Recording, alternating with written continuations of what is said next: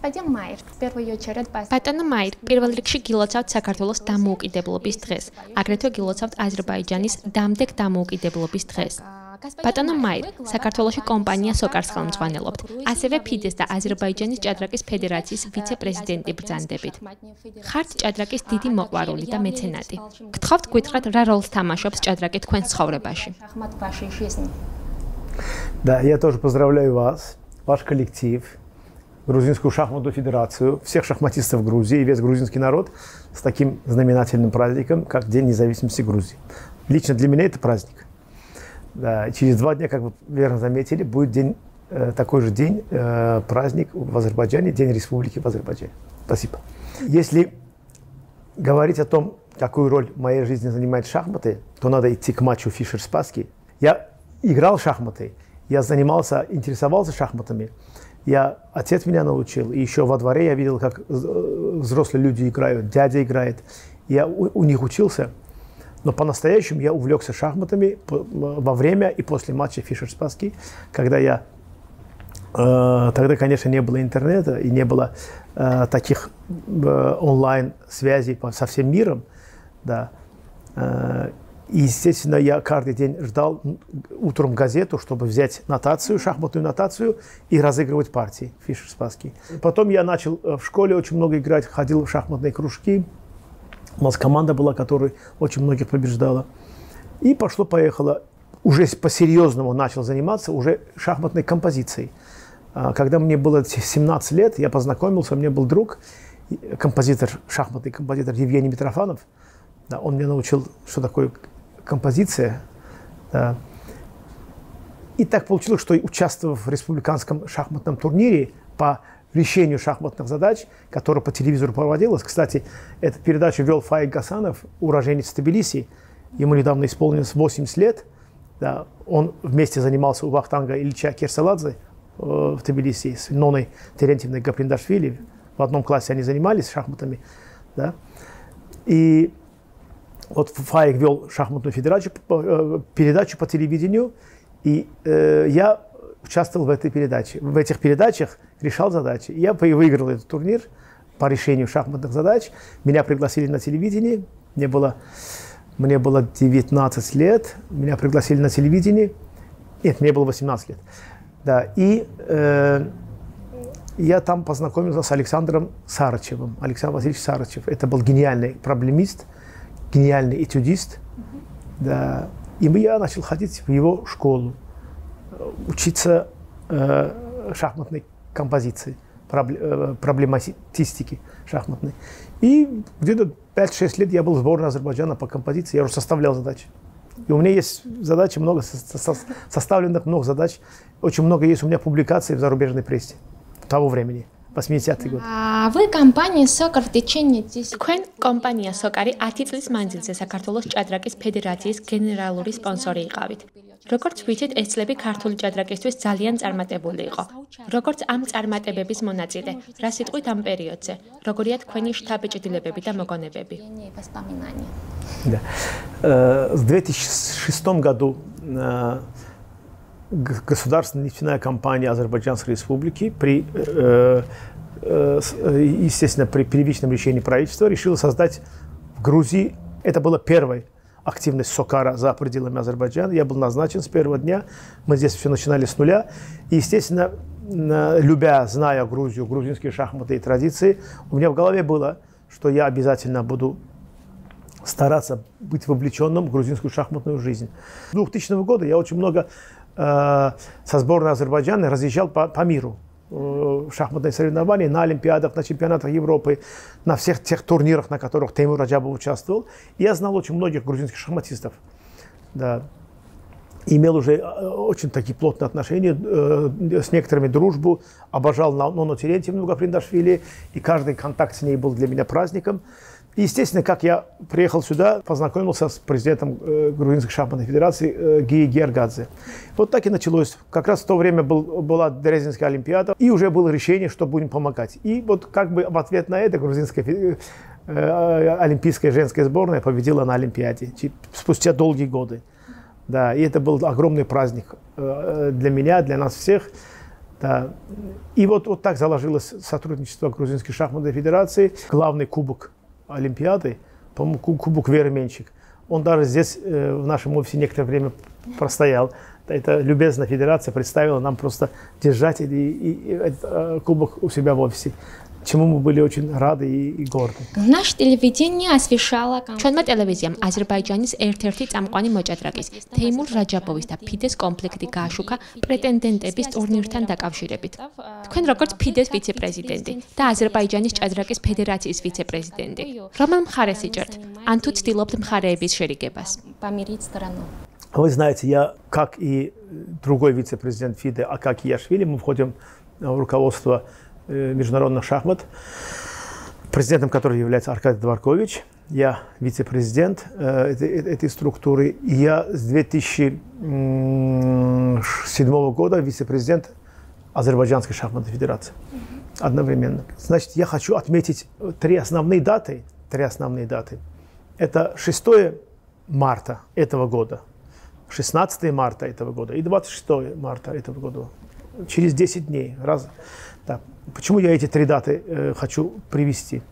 Шест, э, где-то числа 4 со мной связался Аркадий Дворкович и сказал, что, оказывается, Таймур Раджабов не хочет играть в турнире претендентов под э, страхом того, что он может заболеть э, новой инфекцией коронавирусом. Э, его беспокоит эпидемиологическая обстановка в России и в мире, и он просит нас этот турнир э, перевести в другое время. Я сразу сказал, что, Аркадий это же невозможно. Турнир должен состояться. Да, эти, э, очень много сил было сделано к этому. Кандидатский турнир в Екатеринбурге. Он начинался 16-17 марта. Да. Я попробую переговорить с Теймуром, переубедить его. Да, естественно, я вернулся к Теймуру. Я Теймура очень люблю как шахматиста и как человека. Я определенный, скажем так, большое время своей жизни я э, посвящал тому, чтобы помогать этому талантливому шахматисту. Да. И у него были реальные успехи, он в блистательном стиле выиграл Кубок мира последний, доказав, что он действительно один из самых топовых шахматистов в мире. Да. Я переговорил с Таймуром, увидел, что он непоколебим, он не хочет менять свою позицию, свое мнение. У него внутри сидит страх, потому что там должны были выступать китайские шахматисты. Я ему говорил, что, вот, э, например, Тинлерен сидит в карантине в России, Ван Хао сидит в карантине в Японии, в Токио, где-то там. Да, что все меры предосторожности будут предприняты, будут тесты, будет врачебный контроль, вас всего 8 человек, будет дистанции. Но он сказал, нет, я не буду, я не могу в таких условиях играть. Да. И э, говорит, только одно условие, чтобы я играл, турнир должен быть перенесен. Но он для себя это определил. Я понял, что с ним спорить бесполезно. Мы с Аркадием Дворковичем вынесли решение на э, Фиде Council. Мы сперва дали Таймуру до 6 числа дедлайн. Извиняюсь, а вы думаете, что он неправильно поступил так? Я сейчас об этом скажу. Ага. Да. Я Таймура не поддерживал 6 марта. Э, эти, эти даты я его не поддерживал. И мы вынуждены были второго после него Максима Шалаграва ввести турнир претендентов. Я думаю, 6 числа он был неправ потому что, во-первых, у нас не было много информации из Китая. Во-вторых, итальянского ужаса все еще не было, такого огромного ужаса, он только начинался. В-третьих, в мире спортивные соревнования шли. Например, 11 числа, 10, 11, 12 числа были матчи Лиги чемпионов, и там трибуны были полные. Там все мировые спортивные события происходили. Пандемия не была объявлена. 4, 5, 6 марта со стороны World Health Organization еще не было пандемии. То есть такое объявление не было. Поэтому мне показалось это как бы некоторая паника, и она не имеет оснований. Но так бывает. Последующие события показали его правоту. Или это совпадение, трагическое совпадение, естественно. Или Таймур это предвидел своим шахматным или там человеческим гением, как, как Нострадамус, или там, Баба Ванга. Да, я не знаю, что здесь имело. Или у него свой какой-то супер аналитический аппарат. Он это смог предвидеть, понимаете? И 15-16 уже было понятно, что играть нельзя. Да. Тем более турнир проходил в России, и 15 марта министр спорта России издал указ, что все соревнования на территории России отменяются, особенно с участием иностранных спортсменов. Честно говоря, я уже был против этого. Да? Я уже э, выразил свое сомнение, что этот турнир вообще надо проводить. Турнир был проведен, турнир начался. Где-то на протяжении вот этих 10 дней FIDE Candidates Tournament был единственным турниром в мире вообще, что происходило – и все, и все с ума сходили, что весь мир стоит, и одни шахматисты играют. Это было странно очень. У меня спрашивали, я не знал, что ответить, почему шахматисты играют. Я тоже говорил, что вот там дистанция, там то, все. Уже пандемия была объявлена. 12 марта была пандемия объявлена э, уже по всему миру. Нельзя было проводить ничего. Я 16 выразил свое сомнение, что турнир надо проводить или нет. По-моему, я был один, единственный в ФИДе, кто это сказал. Там вы можете это перепроверить. Да. Но турнир начался, мы все хотели, чтобы он закончился. Но, во-первых, пандемия стала уже по-настоящему пандемией. Уже э, страны закрывались, да, авиасообщение по всему миру прекращалось вообще. Да? Причем не одна-две страны, все страны закрывались наглухо, на замок. Да? Причем передовые европейские страны закрывались. Там, американский континент уже начал закрываться. И 25 числа, по-моему, вышел указ по России, что вообще все полеты прекращаются. И, и пришлось в авральном порядке 26-го турнир остановить. Слава богу, что это было окончание первого круга, да, первой Шахматисты части. Э, узнали об этом перед туром? Или... Да, да. да, я думаю, что шахматисты утром узнали. Да. да. Ну, скажем так, с 15 по 26 то, что происходило, это нам, как ФИДЕ, не делает честь. Да, я думаю, что это наша вина. Это вина ФИДЕ, что это началось, что это проходило. И 26-го, конечно, надо было остановить. И оказалось, что Теймур прав. Да, и оказалось, что Теймур прав. Я 26-го сказал, когда, как только объявлен, объявление было, мне начали журналисты звонить, я сказал, что у Теймура есть очень явная, очень такая сильная судебная перспектива. Я не думаю, что Фиде сможет защититься. Я реально думал, что Фиде не сможет защититься.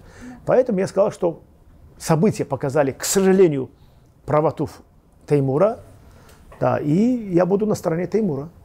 Но я понял, что Аркадий Дворкович, он хочет изменить эту ситуацию. Он понял, что произошла некая ошибка. Ты, э, Аркадий Дворкович написал письмо на имя президента Азербайджана, была предварительная консультация, что у меня есть предложение по этому поводу, у нас есть, у ФИДа есть предложение, и мы хотим это обсудить. Я думаю, что обсуждение будет, как только э, авиасообщения возобновятся и э, мир будет нормально работать. К, как вариант, я знаю, что рассматривается, что Теймуры будет дан wildcard на следующий кандидатский турнир. На этот турнир уже Теймуру дорога закрыта, потому что он заигран. Если турнир будет прекращен вообще и аннулирован, то в этом случае у Теймура может появиться шанс играть в этом цикле. Но если турнир будет продолжен, Теймура включать в этот цикл неправильно, потому что те восемь шахматистов, которые играли и уже сыграли один круг, они будут протестовать, естественно. И я думаю, что включение Теймура в следующий цикл, это было бы Соломоновым решением, это было бы правильным компромиссом. В период пандемии вы решили поддержать шахматистов. პანდემიის დროს თქვენ გადაწყვეტეთ დახმარებოდით მოჭადრაკეებს. თქვენი წყალობით ჩატარდა საქართველოს და აზერბაიჯანის ონლაინ ჩემპიონატები მაღალი საპრიზო ფონდით.